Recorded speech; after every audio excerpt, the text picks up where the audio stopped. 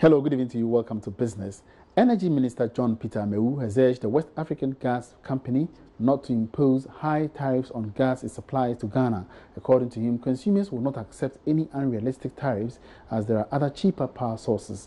Peter Amewu was speaking at the West Africa Committee of Energy Ministers meeting here in Accra. The minister used the occasion to call on the energy regulator for the sub-region, the West African Gas Authority, to allow Ghana to use existing facilities of the West Africa Power Company to assist in transporting gas from Takoradi to Tema. The West African Gas Company, WAPCO, transports gas from Nigeria through the West African pipeline to Ghana and other West African countries at a cost of $5 per standard cubic feet. This, according to the Minister of Energy, Peter Amewu, is not competitive compared with the rates in other sub-regions and current conditions in the sector. He said the proposal that was submitted by WAPCO during the tariff proposal consultation process is not competitive as the country can only afford $1 per standard cubic feet. It is important to underscore that we live in a world of competition. Cash is fungible and we will move to where it would take the best use in terms of return on its investment. If the delivered gas price is prohibitive compared to other alternative fuels, gas will therefore become very hard to sell. We therefore expect WAPCO, the pipeline company, to try not to assume that there is a captive market for them and that any rates charged will be accepted by consuming nations. Meanwhile, Chief Executive of the West African Power Company, Walter Perez, declined commenting on the minister's call, but expressed confidence that both parties will have a win-win agreement at the end of the meeting. I mean, if if, uh, if the tariff doesn't make sense, why would we uh, why, why would we uh, move ahead? But, you know, but we have made substantial progress together. We fully expect that we will find a solution. All parties want to find a win-win, and we're here today seeking a win-win that works for for everybody in the value chain. So, but you heard the Ghanaian energy minister. I mean, his words signal that they're not ready to back down. Well, we'll see. We'll, we'll see. You know, I, I think uh, that uh, that's why this meeting occurs today. You know, we we uh, hope that uh, you know cool heads and reasonable men will prevail in in uh, the deliberations uh, with each other today. Ghana's quest to build a petrochemical industry in the western region creates another opportunity for both parties to agree on terms beneficial to the citizenry. Domestic airline Passion Air has commenced commercial flights to Takoradi in a bid to boost economic activities in the western region. The new route brings to three total destinations plied by the airline. Commercial manager for Passion Air, Anita Kuri, has been speaking to Joy Business at the Takoradi airport. Sheila Tamaklo was on the inaugural flight and has come through with this report. Upon receiving its third aircraft, today Passion Air made its inaugural flight to Takoradi. This is because the airline is planning to commence commercial flights to this particular sector.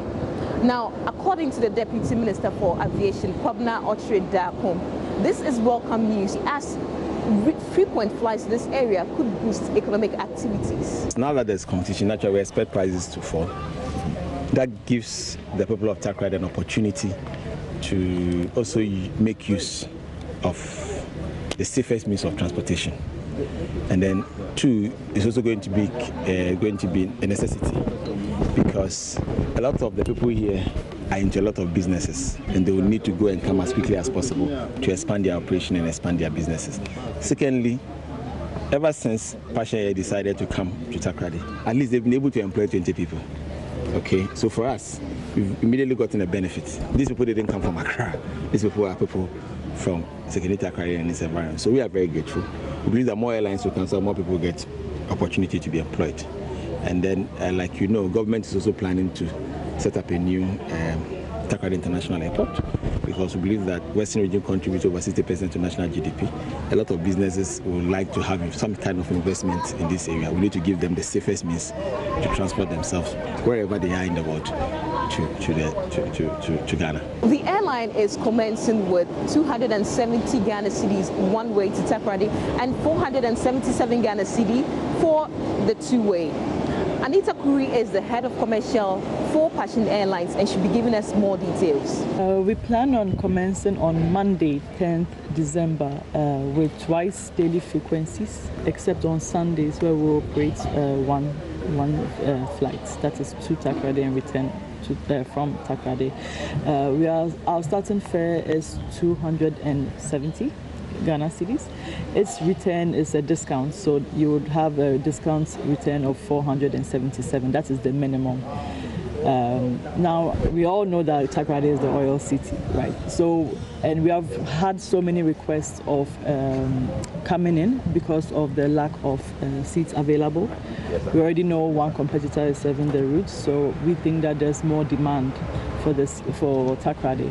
Reporting for Joy Business from the Takoradi Airport, that is the oil city. My name is Sheila Tamaklo. Fidelity Bank says its target is to be among the top three banks in the country within the next five years. This was after it announced on Friday it has met the new minimum capital requirement of 400 million cedis set by the Bank of Ghana. The bank achieved this feat after shareholders passed a special resolution to move 50 million cedis from income surplus to already existing stated capital. Board Chairman Edward Effah has been speaking to Joy Businesses George Wiafe. We have just completed an extraordinary general meeting of shareholders, and the purpose of the EGM was to pass a resolution to transfer an additional 50 million from reserves to stated capital. Mm. Um, we have a deadline of 31st December to meet the to meet the minimum capital requirement for banks, and therefore we couldn't have passed this resolution after 31st December. So we have to complete the minimum capital requirement process before the end of the year. So to do that, we audited our financial statements for the nine months to 30th September, which the auditors audited in October, and which we have presented to shareholders, um, because you cannot move surplus funds to stated capital without audited financial statements. Um, so that was the purpose of the EGM, and also to apprise shareholders of the performance of the bank for the year to date. So if you help me out, I understand you had already 345 million Ghana cedis, yes. and they were just moving income surplus to the main accounts, right? Yes. So um, before the EGM, our stated capital was 345 million, and with the EGM, we've passed a resolution to transfer 50 million from surplus funds to stated capital, which will take our capital, our stated capital, above the 400 million minimum. What is the regulatory requirement? I remember previously we had reports, even engaging some banks were saying that investors were waiting to see that numbers changing to 400 before they deal with them. With respect to the regulatory requirement, when would the auditing process be completed for everyone to see that indeed we verify the numbers and Fidelity even has more than 400 million Ghana cedis? We have had our numbers audited. Our financial statements were audited for the year to 30th September. So we don't have any doubts or any further auditing or verification to go through. So we have met the minimum capital requirement with the passing of the resolution today to transfer the 50 million from surplus funds to stated capital. Um, the central bank has made it very clear that the minimum capital requirement should be met by the end of the year. So by the end of the year, banks should either have met it or not met it. Um, I can't speak for other banks, but we have met it. And that's all in business for now. Many thanks for watching. For more business news, log on to myjoyonline.com slash business. Have a good evening.